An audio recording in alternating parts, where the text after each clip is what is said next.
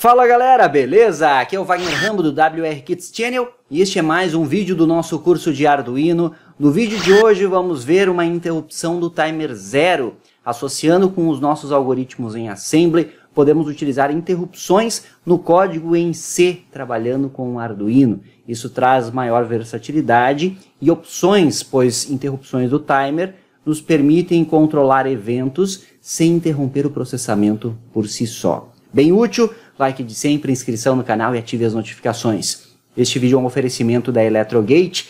Acesse electrogate.com, link aqui embaixo, faça o seu cadastro, vá adicionando itens no carrinho. Tem muitos kits de Arduino para você desenvolver, seja do mais básico ao mais avançado em electrogate.com. Lembra dos cursos Hotmart, hein? Lançamos recentemente o Pumps Intermediário, amplificadores operacionais Link na descrição, está em promoção, aproveite o valor que termina agora sábado. Então, invista no seu conhecimento e confira os demais cursos WR Kits. Vamos para o vídeo de hoje, segura aí!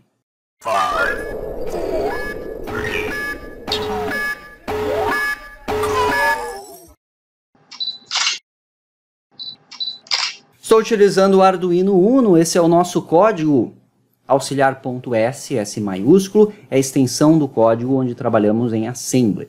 E aí é legal que nós utilizamos a linguagem Assembly para AVR e realizamos as configurações necessárias.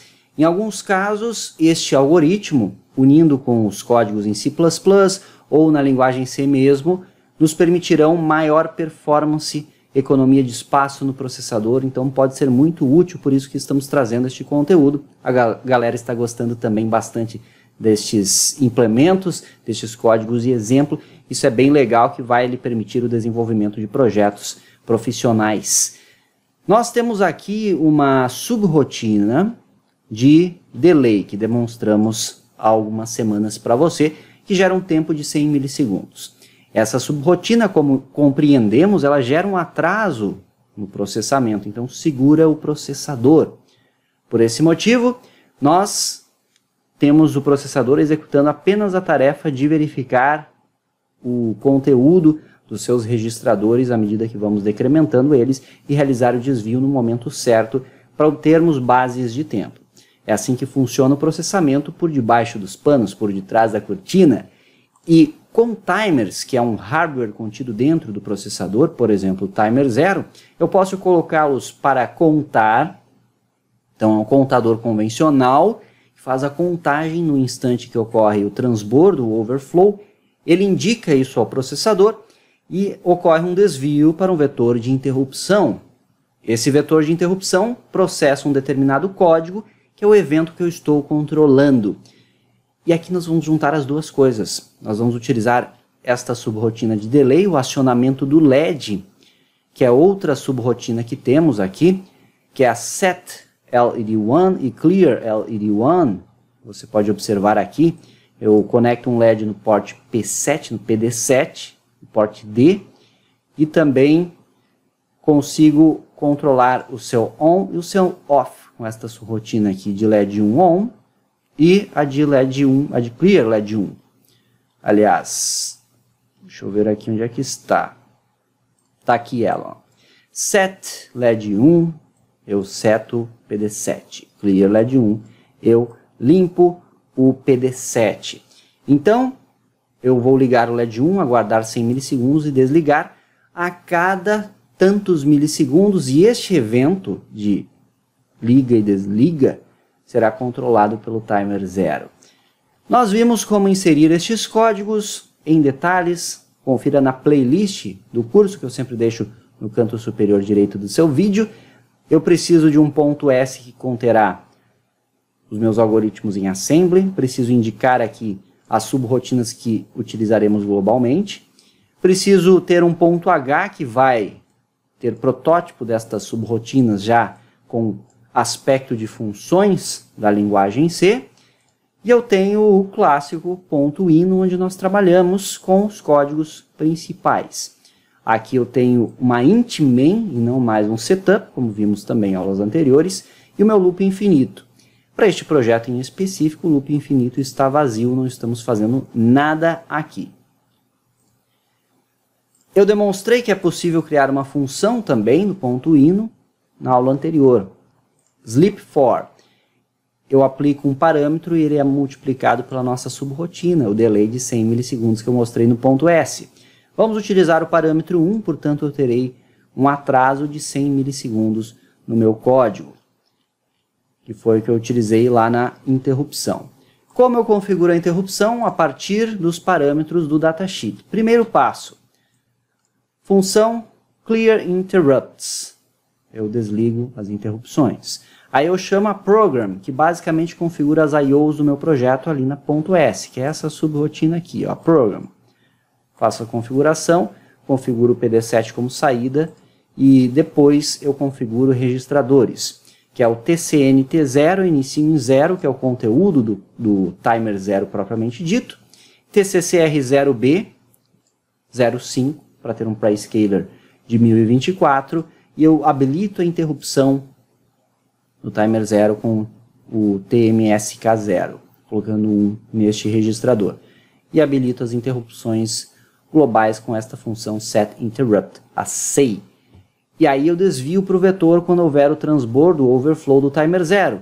Então a, a função de interrupção é a ISR, e eu coloco como parâmetro o overflow do timer zero. Então eu desvio para o vetor de interrupção quando ocorre o overflow do timer zero, e aqui eu vou processar o algoritmo que eu quero, controlar o evento que eu quero.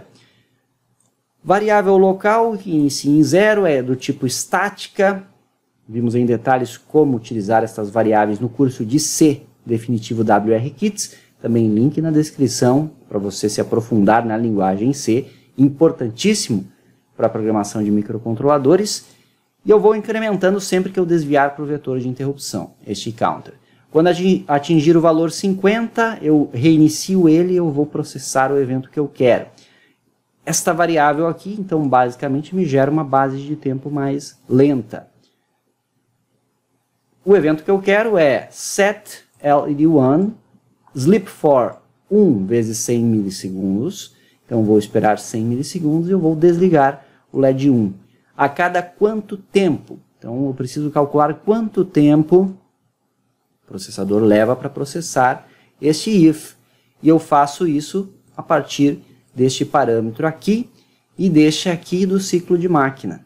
Vamos calcular aqui com você. Isso tudo você vê no datasheet do Atemega 328P. Com o datasheet o seu projeto vai mais longe. Tem camiseta com esta frase na nossa loja de camisetas, link na descrição também. E tem o curso de datasheets para você aprender a ler e interpretar estes documentos.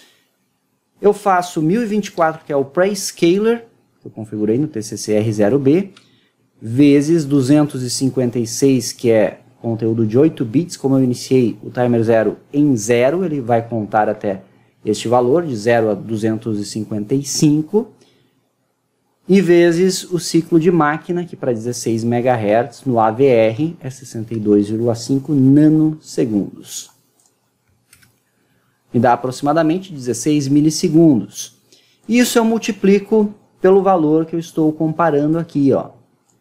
Isso vezes 50 vai me dar em torno aí de 819 milissegundos a minha base de tempo.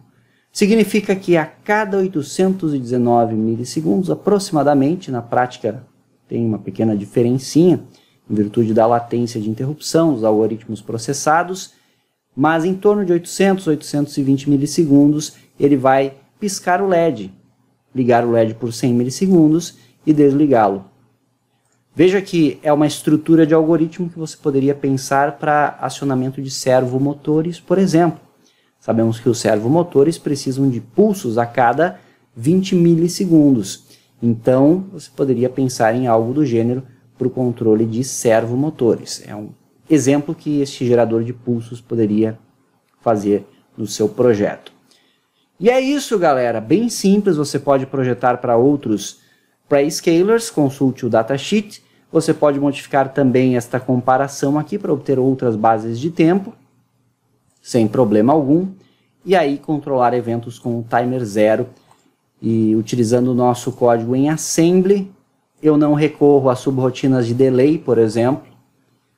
que ocupam o timer zero no AVR, aqui na Arduino IDE. Então, muitas vezes em projetos que eu trabalho apenas do ponto hino, eu não posso utilizar interrupção do timer zero em virtude da ocupação do timer zero para gerar bases de tempo, delay, utilizar a função milis, micros, entre outros. Então, com isso, eu consigo liberar o timer zero e trabalhar nele diretamente. É o que vamos comprovar na prática para você.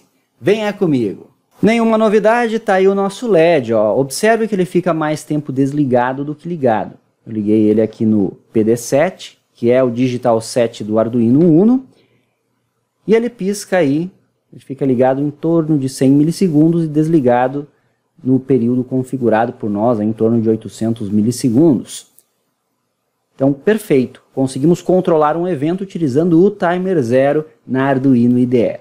Eu vou conectar agora osciloscópio para verificarmos a forma de onda. Vamos observar então a nossa base de tempo e ver o tempo em que o LED permanece aceso. Osciloscópio no modo RAW, você vê aqui o LED acendendo e desligando por mais tempo. Eu vou dar um single aqui, ele vai pausar a nossa aquisição e temos este aspecto aqui da forma de onda. Eu posso observar com o cursor, então se eu posicionar aqui Desta forma, conseguiremos medir o tempo ligado, ó, 102 milissegundos. Isso foi obtido com a nossa subrotina em assembly, esta base de tempo. E o intervalo observável aí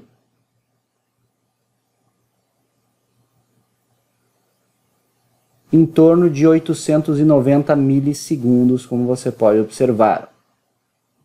Como dito, dá um pouco a mais em função dos algoritmos utilizados e da latência de interrupção. Mas é importante observar que estamos controlando esta base de tempo perfeitamente aqui e eu consigo, com isso, fazer controle de diversos eventos sem interromper o nosso processador. Eu utilizei a subrotina de delay, mas não precisaria necessariamente utilizar, eu poderia utilizar o timer zero para controlar algum evento específico que não precisasse de um delay especificamente, como você deve imaginar. Quer mais vídeos como este? Deixe seu comentário aqui embaixo, é sempre muito importante este feedback para sabermos como estão se saindo as aulas WR Kits. Acredito que é um excelente aprendizado este tipo de algoritmo, unindo conhecimentos de Assembly, C e C++. Esse foi mais um vídeo do curso de Arduino, como sempre, like no vídeo, inscrição no canal e ative as notificações. Nos siga nas demais redes, o Instagram, o Telegram, o Twitter, o Facebook, os links todos na descrição. Acompanhe os demais vídeos do canal também. Isso é engenharia, uso intencional da ciência. Por hoje é isso, eu vou ficando por aqui. Aquele abraço e até a próxima.